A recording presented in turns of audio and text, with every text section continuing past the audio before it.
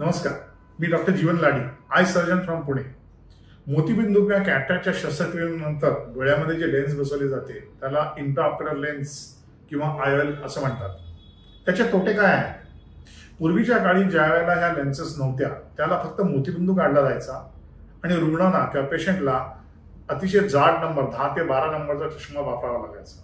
आणि तो चष्मा काढला की काहीच नाही दिसायचं. परंतु ती सर्जरी जी केली जायची ती किमतीमध्ये खूप कमी होती. आता लेन्सेस आल्यानंतर सर्जरीची किंमत किंवा शस्त्रक्रियेची किंमत वाढली आहे.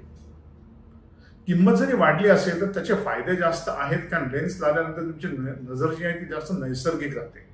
म्हणजे वयाच्या विसाव्या किंवा तिसाव्या वर्षी आपल्याला जसं दिसतं तसं आपल्याला दिसायला कॉस्ट किंवा किंमत हा एक भाग सोडला तर त्याचे काहीच तोटे नाही आहेत सर्वच फायदे आहेत. थँक्यू